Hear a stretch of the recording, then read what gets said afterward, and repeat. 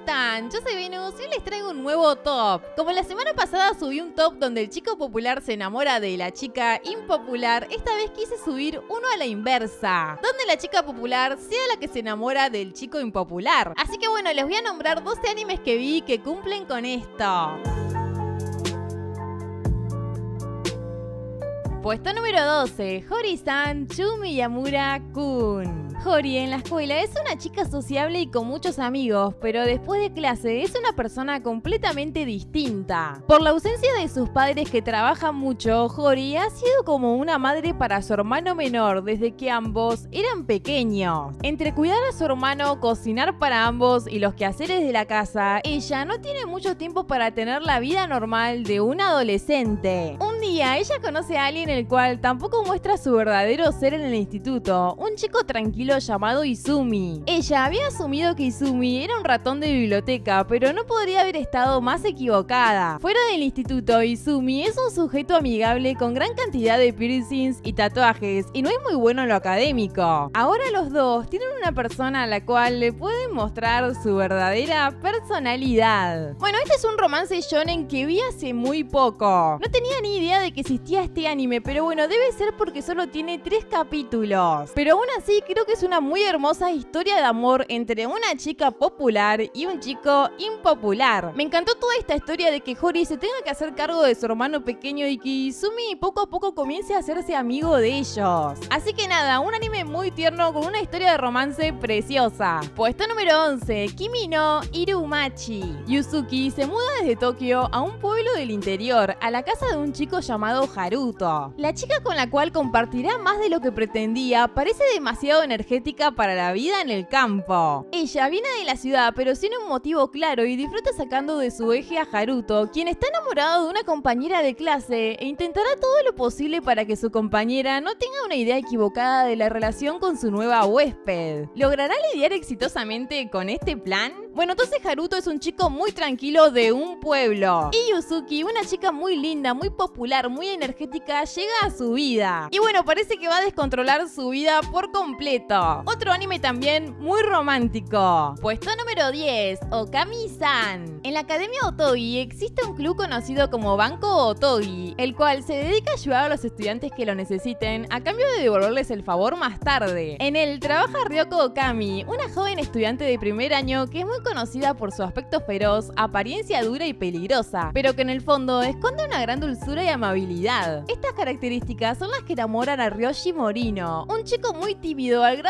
de no poder soportar que otras personas lo miren fijamente. Pero sin embargo, este chico logra confesarse ante la temible Ryoko. Empeñado por quedarse a su lado para protegerla, Ryoshi pasa a formar parte del banco Otogi. Puesto número 9, Rosario Vampiro. El protagonista ha suspendido su examen de acceso al instituto medio y cuando estaba a punto de resignarse y pasar un año sabático, su padre encontró un sospechoso sobre con los papeles para ingresar a la Academia Yokai, un instituto construido en un lugar remoto y apartado de la civilización, que resulta ser un lugar de reunión para jóvenes monstruos que aprenderán a coexistir con los humanos. Durante el camino hacia el instituto conoce a Moka, una chica preciosa que tentada por su sangre revela su verdadera identidad. Bueno, entonces este humano por error terminará en una academia para demonios y terminará envuelto en la vida de esta vampira. Una vampira muy hermosa y muy popular en esta academia. Un romance muy bonito irá surgiendo entre estos dos. Puesto número 8, Danmachi. Comúnmente conocido como el calabozo de la ciudad de Horario, posee bajo tierra un enorme laberinto. En él, el aventurero Bell es atacado por un minotauro mucho más fuerte que él, pero aparece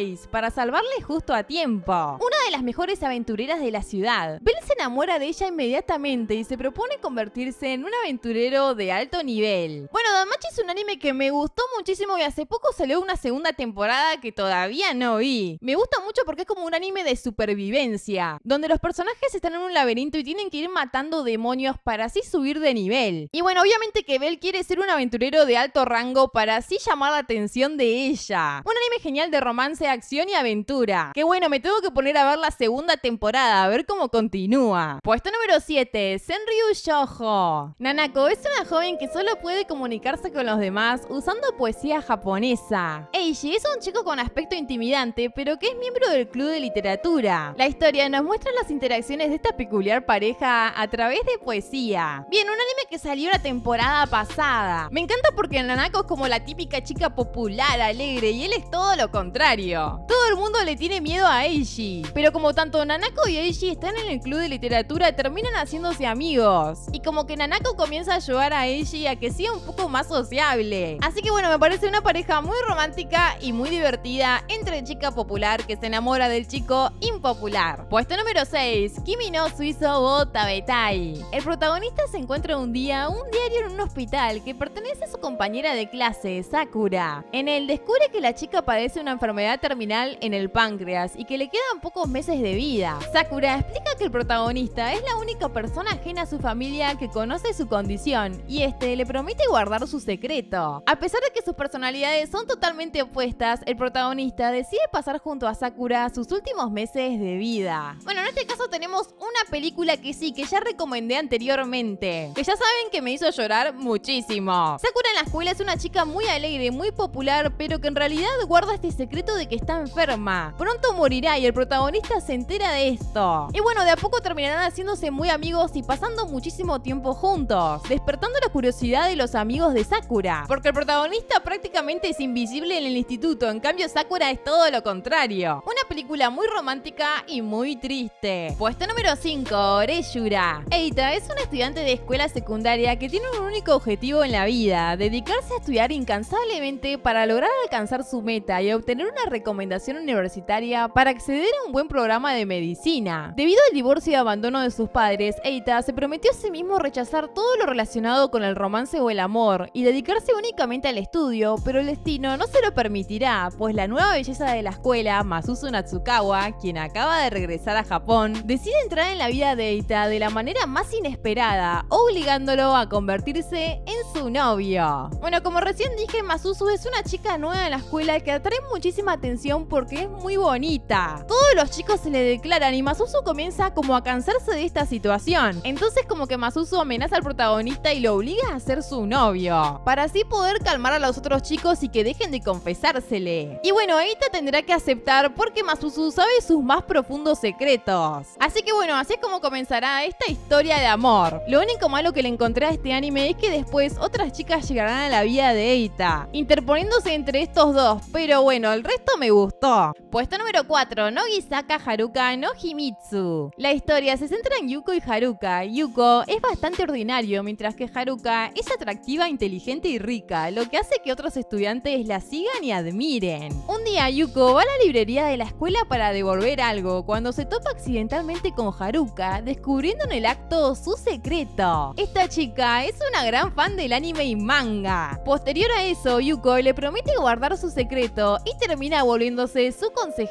y confidente. Bueno, otra historia más de amor entre una chica popular y adinerada y un chico impopular y pobre. Después de que Yuko descubra su secreto, comenzarán a acercarse cada vez más hasta enamorarse. Pero bueno, su amor se verá muy complicado por todos los obstáculos que les pondrán en el camino. Puesto número 3, Golden Time. Banry es un universitario que ha perdido todos sus recuerdos del pasado, no sabe quiénes son sus amigos ni su familia, pero aún así trata de vivir como cualquier universitario normal en Tokio. Un día se encuentra con un hombre muy atractivo que también va a la misma universidad, Mitsuo, pero no tarda en descubrir que este tiene una acosadora, Coco, una mujer aparentemente perfecta y muy rica que piensa que Mitsuo y ella están destinados. Bueno, entonces Coco es una chica muy bella, muy deseada por todos los chicos en la universidad. Y bueno, Banry es un estudiante común y corriente. Pero bueno, sus vidas después de este encuentro terminarán enlazándose. Y Banry y Coco terminarán completamente enamorados uno del otro. Así que bueno, este es uno de mis animes favoritos de universidad. Tiene un romance un poco más maduro, más completo. Así que súper recomendado. Puesto número 2, gamers. Keita es un adolescente solitario y mediocre cuyo único rasgo distintivo es su gran afición por los videojuegos. Un día, la chica más hermosa de la escuela, Karen Tendo, quien es también la presidenta del club de videojuegos, lo invita a unirse a su grupo. Bueno, entonces este anime se enfoca en el club de videojuegos y en los miembros de este. Creo que la historia de amor entre Keita y Karen es muy linda. Pero bueno, la historia de los personajes secundarios tampoco se queda atrás, así que este anime me encantó. Puesto número 1, 3D Kanoyo Real Girl. Hikari, una estudiante que se conforma con las chicas virtuales que encuentran los animes y los videojuegos, no tiene muchos amigos y vive en su propio mundo. Pero un día le obligan a limpiar la piscina junto a Hiroha, una chica real, muy linda y popular entre los chicos de su clase. Bueno, creo que este anime es el que mejor se adapta a esta categoría. Me encanta la pareja que hace Hikari, este chico otaku con Hiroha, esta chica tan bonita y popular. Es como que ambos son muy diferentes pero se complementan muy bien. Y bueno chicos, esa fue la lista por hoy. Recuerden dejar su like, suscribirse, compartir el video. Saluditos para Melody, Daisy, Mary, Dani, Antonio, Lolis, Elizabeth, Naidelin, Gonzalo, Mimi Swan, Cintia, Adagaki, Odir, Viri, Alicia y Aisis. Y bueno chicos, eso fue todo, así que arigato gozaimasu.